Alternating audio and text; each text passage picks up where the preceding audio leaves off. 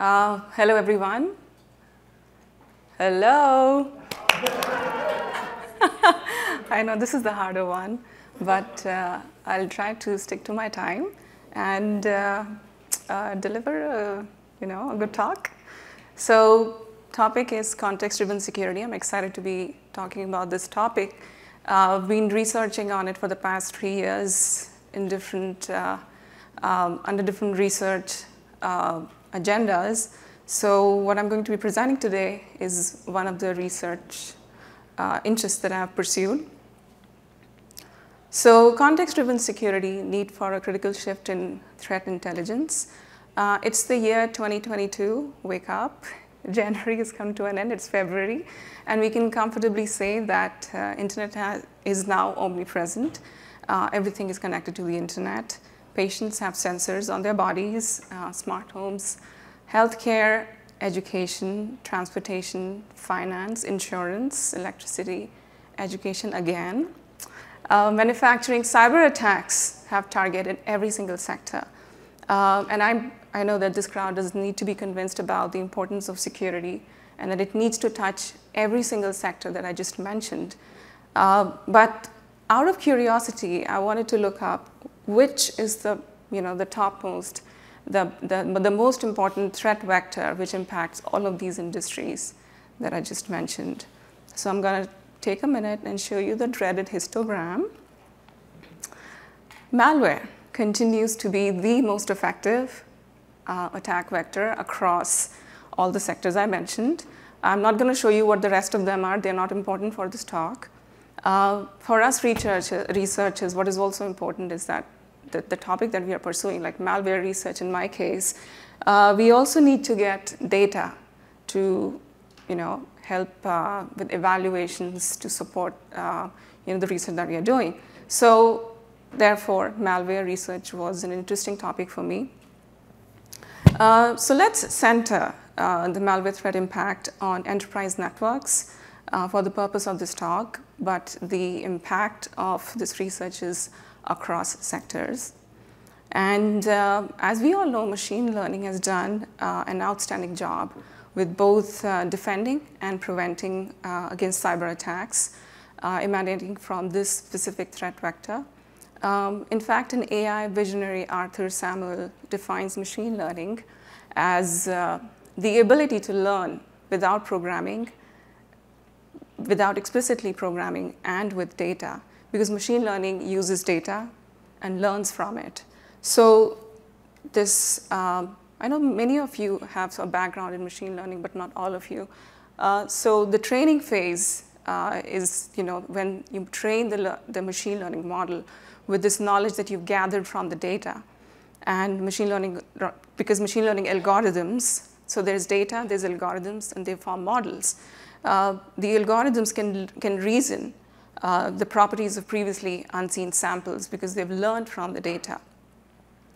In malware detection, uh, a previously unseen sample could be a new file that will be, uh, that will be you know, uh, testing this model that we just learned. Uh, and you will find out whether the, the, the, network was indeed protected against this new file, this malware file.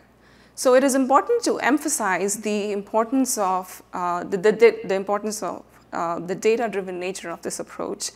And so like in the training phase, a model created for malware attack detection and prevention. Uh, it depends on the data, and it, it, has seen during the training phase. So that's an important concept uh, that needs to be kept in mind uh, so that it can determine uh, which features are statistically significant or relevant uh, for predicting if the file was actually malignant or malicious or benign. So the statistical significance is very important, and that comes from the data that the model has been trained on. Uh, so that's uh, something to keep in mind while I continue with the talk. And most companies have used machine learning or are using machine learning um, to, to, to some degree in their intrusion detection and prevention systems. But machine learning has its limitations, obviously, because machine learning is hard. That is the topic of this, this, uh, this panel. And we are going to be talking about those limitations and those circumstances where these limitations uh, are more pronounced. So we are increasingly recognizing, recognizing these limitations and some of these challenges uh, come in the form of false alerts. False alerts, uh, false positives, false negatives. False negatives happen when a model mistakes a malicious label for a benign file, and false, false positives happen when a harmless file or a URL or an indicator uh, that is being scanned in the model that we just talked about, the trained model uh, that I just talked about, that model incorrectly identifies it as malicious. That's false positives. So together they, call, they are called false alerts. And they can carry um, serious consequences for users. You can imagine that, right? So you will continue to see benign files, and if they're tagged as or labeled as malicious, somebody needs to take care of that. Those, those people are SOC analysts. And uh, you would say that we can impose high requirements on the model, and uh, both you know, the machine learning model and the metrics that are defining you know, the thresholds, whether this will be uh, labeled as malicious or benign, you can increase uh, those thresholds or you know, impose higher requirements for your models. Uh, even then, even then, it is, it is very difficult to get rid of uh, you know, false positives and false negatives. In fact, uh, uh, I was looking around for some specific uh, data around this in top companies, the, the projects that they build, uh, each product sees terabytes of data every day. And even if a fraction of that is false alerts, you can imagine the amount of time, money goes into uh, analyzing why are we seeing these false alerts. And they can't just let, let pass uh, those uh, alerts. And what they cause, because of the amount, they cause uh, alert fatigue. The analysts is not able to uh, manually uh, analyze those alerts uh, after a point. So problem, uh, now we've understood what we're going to be targeting. Let's talk about, uh, um, let's shift gears uh, towards solutions. So um, that's what this, this research I'm going to talk about is focused towards. Uh, but breaking down the problem into two, P1, P2. P1 is lack of enough representative data to test rules. And that's why I was emphasizing on the training uh, uh, aspect of the, uh, the learning model, that if there is no representation uh, in the machine learning model, it will be very challenging for the model to actually uh, to find that, uh, the, you know, to, to be able to label a new file.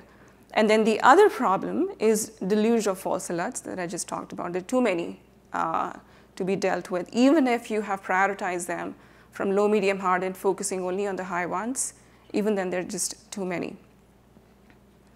So for problem number one, lack of enough representative data, uh, one solution that uh, we have uh, in, that, that we are pursuing is continuous learning uh, and then add most recent data. So uh, new attack vectors, new vulnerabilities keep coming in. Uh, they're, they're, they're the way they are attacking, those, those attack patterns also keep changing. Uh, the vulnerability might remain the same, but the, but the attack pattern might change. So how do we include that into our learning model? Well, you increase the data that is being used to train the model. Uh, and I'm going to talk about that in, in the upcoming slides. And the other one is triaging alerts. How do you triage alerts? How do you prioritize even the high priority uh, alerts? Uh, this, is, this talk is about context, adding context to security. So um, the direction that we have taken is that uh, you provide context to your alerts. Focusing on the first one first, continuous learning, uh, add most recent data. So continuous learning, how does that happen? Uh, they, we found that uh, uh, so enterprises are constantly, you know, uh, analyzing their internal telemetries coming from logs, uh, network data, host-based data, all of that is getting analyzed. There is an additional source of data that can be included in that analysis, and that comes from the internet. There are lots of uh, open source threat information uh, that is easily and uh, from what I've seen, uh, freely available to a degree. There is noise in the free uh, version, but that's what I was able to access. Um, so free, freely available open, uh, open source uh, threat intelligence uh, written by, sorry, I should have moved, that, moved on to this one. So open source threat intelligence uh, aggregation is what we, we, are, we, are, we are pursuing as a way to increase the, the learning of the models by increasing the data and this data is most recent. And how do we get that? I'll, I'll talk about that.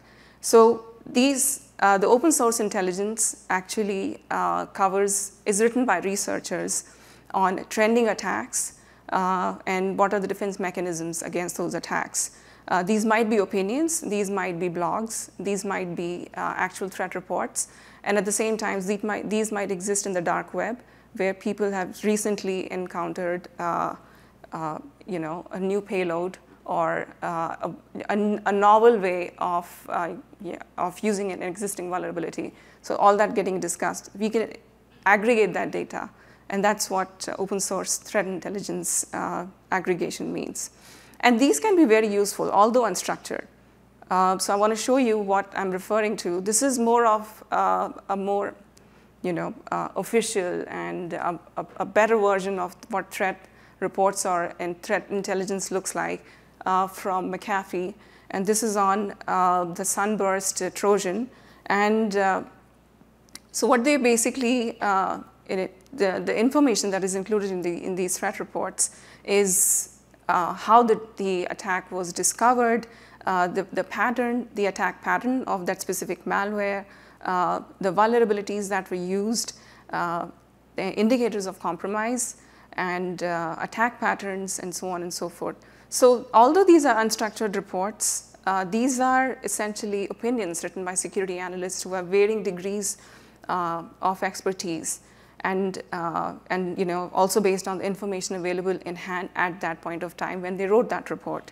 So this is an essential source of uh, new information that we can gather and you won't get this from uh, binary and, and you know, from, from binaries by static analysis or behavioral analysis or dynamic analysis. These are written in uh, human, you know, understandable language and covers context which otherwise wouldn't be possible to capture in code. So that's the advantage that we see in using uh, this kind of threat information. So our uh, research uses knowledge graphs to capture this kind of information.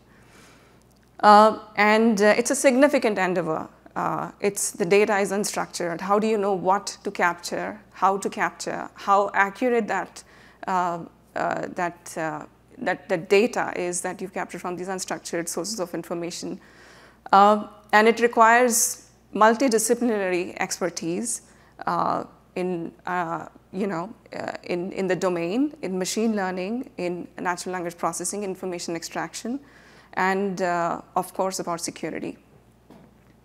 So let's first talk about how do we generate a knowledge graph. So first I'm going to show you what a knowledge graph looks like. So for, I know it's a little small, uh, but I'll try. Uh, so these are small dots which are vertices of a large graph, uh, varying in sizes, and these are connected by edges. And these edges are essentially relationship between, between, two, uh, between two of these vertices, which means that these two vertices have a relationship. There is a context which exists between this circle and this circle. So this is different from a generic graph that you might have studied in maybe a graph analytics class or graph theory class. And towards the, the right of this is actually a legend. Uh, this was generated using Neo4j. And what this legend is, uh, so for example, the, the beautiful orange colored circle is about malware. So these orange circles that you're seeing are malware uh, which was recognized or uh, the data about it was extracted from the reports that I just showed you. Uh, the light colored ones are the light orange is malware family, and then there, are, there is location-based information. Uh, where was this, where was the impact of the malware uh, found, uh, what vulnerabilities were used to compromise the platform, and so on and so forth. Uh, believe it, all of this was captured only using threat reports. And this was uh, from 25 threat reports. And, and basically, uh, just a handful of malware information was collected. Um, and then there is another one, just so I can make the, uh, the concept a bit clearer. So there is, all, all of these are malwares which are connected to one another, or they're aliases, because not every security company will be using the same name. Uh, so you need to capture the aliases so, so that you can capture other details and then combine them and form a knowledge graph which can be used for, excuse me, used for further analysis. Now, now, now let's pick one example. So Flubot malware has picked up again. Uh, it's been around for the past three, four years. Uh, hard to tell when, um, because there is always some report which says that, oh, a, a, version of it or an alias of it existed a year ago. So I know it's a small one, so I decided to zoom in. Now, what you're seeing in front of you, these dark colored oranges, is one of them is Flubot and the others are aliases of Flubot, Flubot malware. Um, and then there is, you know, same information, location, when was, when was uh, this Flubot, uh, you know, detected in a certain location, uh, and, and, and, name of the, the, uh, the different countries, uh, and the impact on devices and so on and so forth. But what is really interesting are these blue colored bubbles. What these blue colored bubbles are attack patterns. Attack patterns which were captured from these threat reports and combining these will give you, from multiple threat reports, combining these can give you the entire kill chain of this specific malware. And that's what the biggest uh, takeaway or biggest advantage of using knowledge graphs is that by using this unstructured information written in, uh, in a language understood by humans, you can capture this kind of details about that malware and uh, extrapolating that, consider many such malwares as part of a very large knowledge graph. Uh, all of this combined can tell you uh, attack patterns or infer attack patterns with little information as and when a malware threat is evolving. That's the advantage of using knowledge graphs, and that's uh, what this research is pursuing. Okay, now adding context. We talked about uh, uh, gathering data from the internet uh, and how do we add context so that essentially we want to help the SOC analysts, right? Uh, so problem number two was adding context. But to get context, you need to add context to your models. If you're not adding context, how will you get context as an output? So uh, Provenance, reasoning, and trust. These are some of the ways where context can be added and the, the, the areas that I pursued so far. Um, so provenance can come from Wikidata. Wikidata is, an, is a very reliable source uh, of uh, information. What can be done is the knowledge graph that I just showed you, those bubbles. If you click on one of those bubbles, uh, we have connected that to the, to the concepts which have been described in Wikidata. You click on it, and it will show you the description of a specific malware or a location, and that's automated. It has automatically been connected to Wikidata. Now you would wonder why is it important, and I'll tell you a very interesting example. So there was this um, attack on Google a couple of years ago, Aurora. Uh, you might have heard of it.